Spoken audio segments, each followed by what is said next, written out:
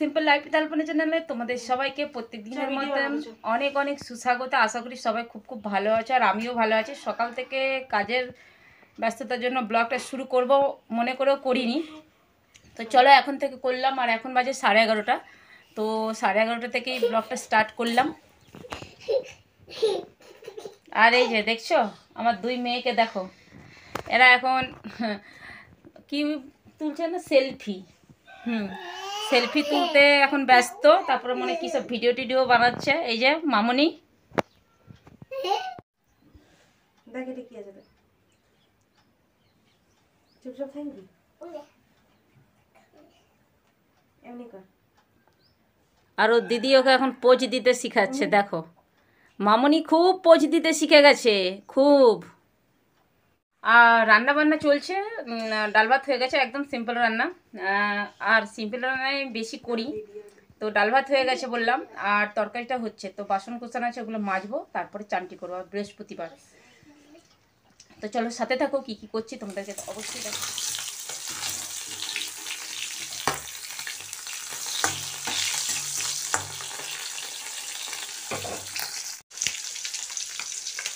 দেখলে মাছ ভাজছি, এগুলো হচ্ছে সব পুঁটি মাছ। আর এত বড় পুঁটি আমি কোনোদিন দেখিনি, প্রথম দেখলাম। অ্যাকচুয়ালি মাছগুলো কোথায় পেলাম তোমাদেরকে তো আগে বললাম যে সিম্পল রান্না করেছি, কিন্তু না, মাছটা হঠাৎ করে পেয়ে গেলাম। ভাগ্যে ছিল তাই। নদী গেছিলাম স্নান করতে, তো ওখানে একজন জেলে, যেটা আমাদের এদিকে কী বলে ঘুনিয়া, উনি মাছ ধরছিলেন। তো বেশ টাটকা টাটকা টাটকা মাছ দেখলাম। তখন বললাম যে দুটো দিন, তখন এই কটা দিল। মানে বেশ তাজা তাজা মাছগুলো ছিল। তো সেই নিয়ে এলাম, এবার ওগুলো একটু সর্ষে দিয়ে করব, টমেটো সর্ষে দিয়ে। আর পুজো টুজো সব কমপ্লিট হয়ে গেছে আমার। তো এটা বানাবো আর মেয়ে স্নান করতে গেছে। চলো সঙ্গে থাকব দুপুরের লাঞ্চ মেনু বাঁধাকপির তরকারি, মুগের ডাল রয়েছে সর্ষে আর টমেটো দিয়ে পুঁটি মাছ, ব্যাস। আর শেষ পাতে একটু পাঁপড় ভেজে নিয়েছিলাম। এ দিয়েই আজকে চটপট খাবারটা খেয়ে নিলাম। কত দেরি লাগবে?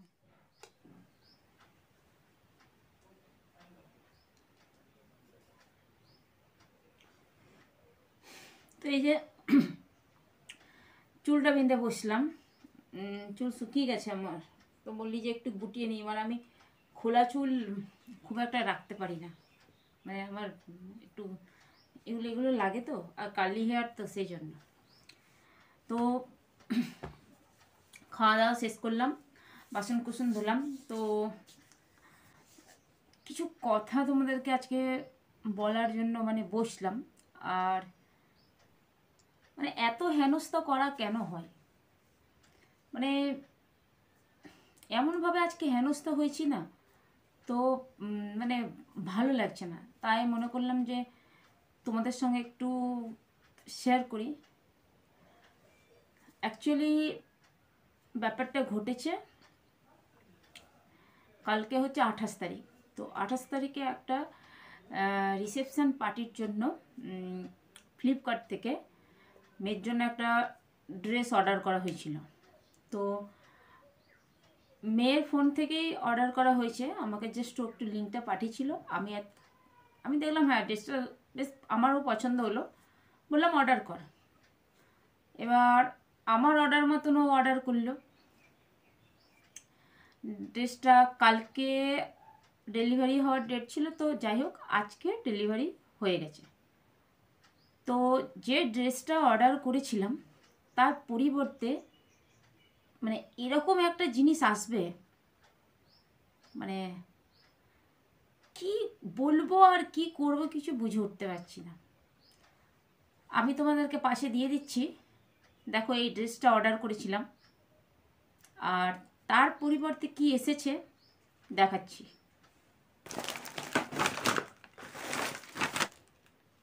এই যে বেলটা এই যে এইটা। কোয়ালিটির তো কোনো বলার নয়। এইটা এসেছে, এইটা।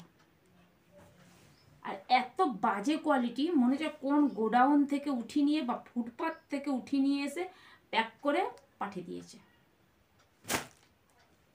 এত মাথাটা খারাপ হয়ে গেছে। মানে যে মুহূর্তে মানে খুব এক্সাইটেড ছিলাম ড্রেসটা খুব সুন্দর। দেখো তোমরা। তো আমরা মনে করলাম যে, আমি বললাম যে, চল চল চল আনবক্সিং কর, দেখি কেমন হয়েছে ড্রেসটা হুম। তো খুলতে খুলতে দেখি এই বেরিয়েছে। কালকের পার্টিতেও কি পড়ে যাবে, না পড়ে যাবে, এখন কিচ্ছু ঠিক হয়নি। এবার এইভাবে কাস্টমারকে হেনস্থা করা কেন হচ্ছে? ওরা অ্যাভেলেবেল দেখিয়েছে অ্যাভেলেবেল দেখিয়ে নিজেদের সাইজ অনুযায়ী জিনিসটাকে অর্ডার করা হলো, কিন্তু এরকম কেন করবে ওরা? এগুলো কি করা আদৌ উচিত? অনলাইন সার্ভিস হোম সার্ভিস বাড়িতে এসে দিয়ে যাচ্ছে। আর তারপরে এই জিনিস ওইটাই মনে করছি, এটা রিটার্ন করে দিয়েছি মেসেজ আজকে এটা নিয়ে যাবে, তারপরে দেখছি কতদূর কি হয়।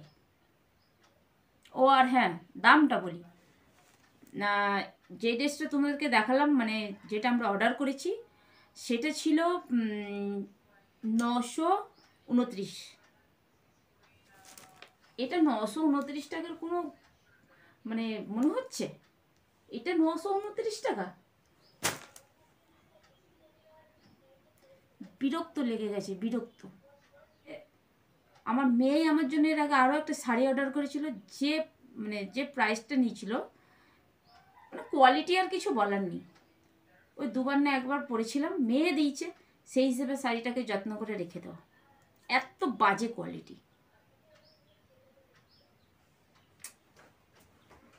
মানে ক্যাটলগে তো দেখতে বেশ ভালো লাগছে। সেটা তো চলো ঠিক আছে যে জিনিসটা একই ছিল কোয়ালিটিটা অত বুঝতে পারিনি, জিনিসটা এক ছিল, কিন্তু এটা এটা কি? তো এইভাবে আমাদেরকে মানে হেনস্থা আজকে করা হয়েছে। মানে রাগও লাগছে, বিরক্ত লাগছে। ঠিক আছে, দেখি, এটাকে তো রিটার্ন করে দিয়েছি আজকে নিয়ে যাবে বললাম। তারপরে কি করা যায়? ফ্লিপকার্টে মেল করতে হবে যে এরকম মানে কাস্টমারকে এরকম হেনস্থা করার কারণ কি? তোমাদের কাছে নেই তোমরা বলে দাও। এক যেটা অর্ডার করছে আরে বাপ সেটা পাঠাও। আমি সময়, আমি ডেট দেখলাম। এবার তারপরে যদি তোমরা আমাকে দেবে, ঠিক আছে? তো আমার লাভ কি? আমি যেটার জন্য নিলাম, আমি সেই কাজটা তো আমার হলো না। তাহলে তারপরে আমি নিয়ে কি করব? আমার তো আশা যে আমি না ওই পার্টিটাতে পড়ব। তারপরে আমি নিয়ে কি করব? সে যাই হোক, বহুত মানে এই নিয়ে আমার মানে বিরক্তিকর একটা ব্যাপার। তো আজকের ব্লগটা এখানেই শেষ করব। আর তোমরা প্লিজ যারা আমার চ্যানেলে নতুন বা আমাকে দেখছ চ্যানেলটা এখনও সাবস্ক্রাইব করনি, তো তারা প্লিজ চ্যানেলটাকে সাবস্ক্রাইব করে নিয়ে অল তো তোমরা যারা আমাকে দেখছ বা আমার চ্যানেলে নতুন বন্ধু, তারা অবশ্যই আমার চ্যানেলটাকে সাবস্ক্রাইব করে নিও আর পাশে থাকা বেল আইকনটা ঠিক আছে? তো সবাই খুব খুব ভালো থাকো আর সুস্থ থাকবে। এবার শীত যাবে, হয়তো আবার সেই একইভাবে টুকটাক টুকটাক শরীর খারাপ হবে। তো আমাদেরও ওই রকম ভাবেই চলছে একটু শরীর খারাপ, একটু ভালো এরকম হচ্ছে। তো আমরাও ভালো থাকব। তো চলো, দেখা হবে নেক্সট একটা ব্লগে তা আজকের মতন।